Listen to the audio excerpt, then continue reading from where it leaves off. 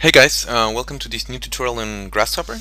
So today we're going to just uh, go and, and, check out what it's uh, the Graph Mapper, which is a really really good tool uh, to control the data because usually the data comes in a very raw and linear form and especially when we are dealing with design we want to just be able to kind of manipulate it and make sense of it in a very intuitive way and that's something that Grasshopper can do really well with the Graph Mapper. So let's go ahead and do a series right? Uh, and as we saw before, a series is just uh, basically a series of numbers, right? So we have 10 numbers here, and we can just do a few sliders for this. So I'm going to just edit this one, and maybe I'll do 200. So first of all, we have the zero value, so we're going to connect the zero uh, step maybe 200 was too much right? So I'm just gonna leave this one for the number of values right? So the number of values would be in this case integers something like 200 and then we're gonna make a another one that would be a floating point and this would be just quite small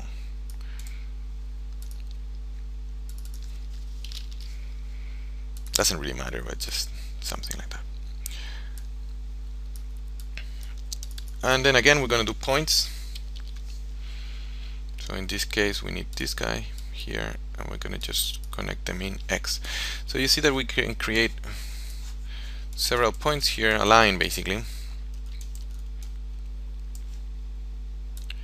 And you can see that we can vary this distance between them with this slider.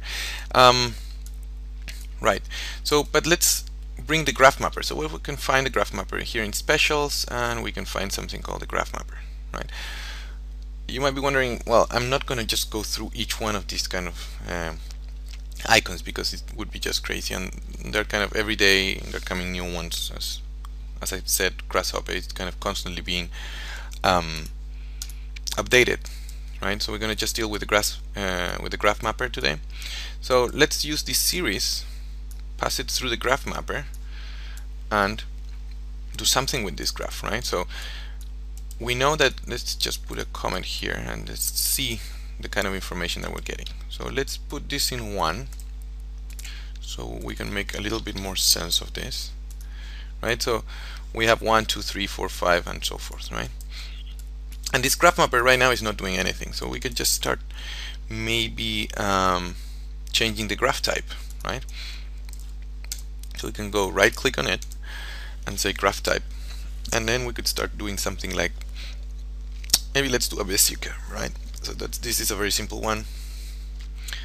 And you'll see that we can just basically play with it.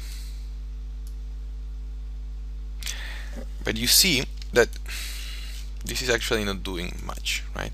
So what we want to do is use this graph mapper to connect the um, sorry let's connect directly the series to the X as we had before but let's connect the graph mapper only to the Y so we can just affect the Y as it moves right? But you see again we have a very kind of a, a, a strong problem here that it's basically in zero we have the Y zero but in one it's already all the way up right? So we need to specify what is the domain of this graph. So let's go ahead and double click on it. And let's say well you know um, I want to go from 0 to 1 right? But um, but my input comes from 0 to 200 right? So let's see that.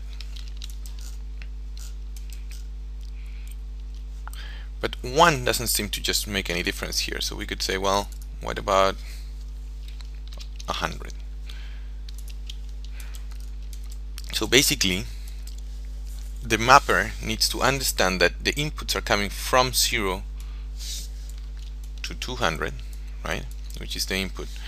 And the output is going to be, you know, you can see that this starts matching exactly the information that we have, like the, the graph that we have here, right?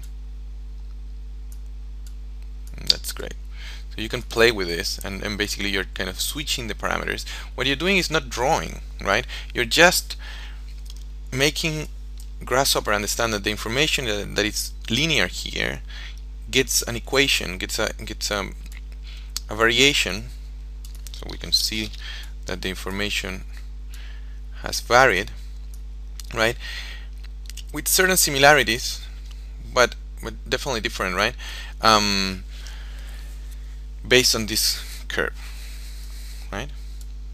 So that's one type of graph. Let's see another kind of graph. We can go into the sine wave graph right? And the sine wave doesn't have these handles that before but we can definitely kind of start kind of bringing waves into the picture right? So you can see that this will repeat this sine wave constantly like that so that's pretty good right?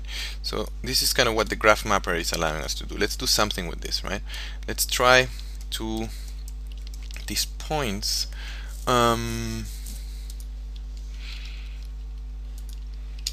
we're gonna do a copy of them right? Uh, so I hope that this is understood right? So we're just gonna leave it up here. I'm gonna organize a little bit the network right? And we're gonna make these points but with a different graph now in y and again I will just basically maybe add a set value to these guys. So let's copy maybe this one here and let's do a set value to these guys. So we have two of them. So this one I will go back to that kind of Bezier one. And you can see that I can play a little bit with it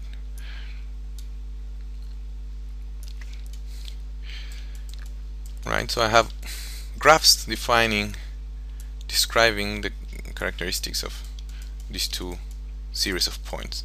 Now what I'm gonna do is just connect them with a line right? So let's uh, see line.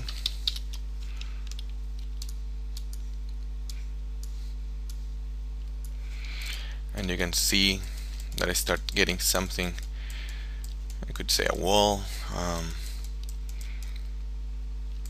or some structure, right? You can still loft this and just generate more geometry out of this as well.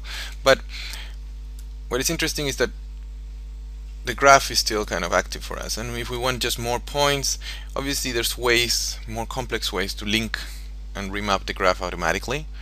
But so we don't have to change these values. But in this case, you know that you're dealing with 200 points and you're dealing with, let's say, 100 units of displacement for the graph to be in scale, right?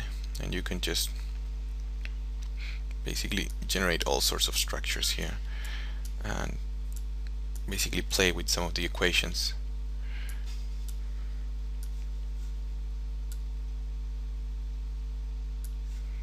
Yeah. So that's it for this tutorial. Um, I hope that you liked it and the next time we'll see well I don't know really. We'll just figure it out for the next one okay? So again like I'll show you the network. I'll be posting some of these networks online so you can just use them or check them if you have any errors right? So series graph mapper the difference between the clean series the mapped series creating points out of this information and connecting them with the line. So that's it